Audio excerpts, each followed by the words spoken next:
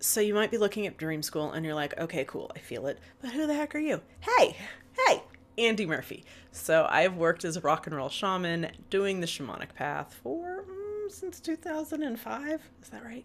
2005. Yeah, that's right. Um, it's a long time. I was a psychic kid, so I was always interested in things like the occult, like UFOs. My light language kicked in in 2012, and I have been sitting, yes, sitting in the Egyptian mysteries since 2008. I've been the lineage keeper of these texts that came down through Nadia K. Eagles, that came to me through Margie Mulligan. These texts that are the teachings that are so intricate and so deep and that nobody else is sharing. So, in many ways, I have an obligation to share, but it's not an obligation. Like, I don't know, have you seen me?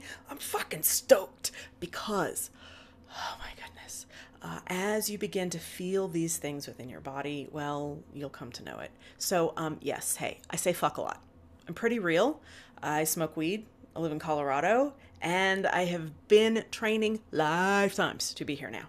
I'm one of those souls who came down who doesn't really have to be here. I picked up some karma because I picked up a body it's the way it goes. um, I'm also a single mom. So, this thing that we do here, it's going to fit into your life. It's not going to take you out of your life. It's not meant to be strenuous in any way.